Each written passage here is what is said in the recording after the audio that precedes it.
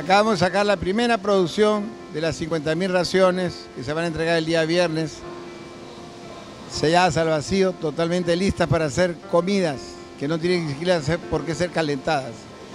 Un gran esfuerzo de la universidad con su facultad de nutrición, ingeniería alimentaria, de agroindustrias, aquí en la planta de Pachacama de la Universidad San Ignacio de Loyola. Aquí tenemos todo el proceso de producción, aportamos desde nuestro espacio con nuestro granito de arena para poder llegar a esos hermanos que tanto lo necesitan. Es un esfuerzo sin precedentes para nosotros, con la única finalidad que el día viernes 50.000 peruanos que están hoy en día con problemas puedan tener un plato de comida listo para ser digerido.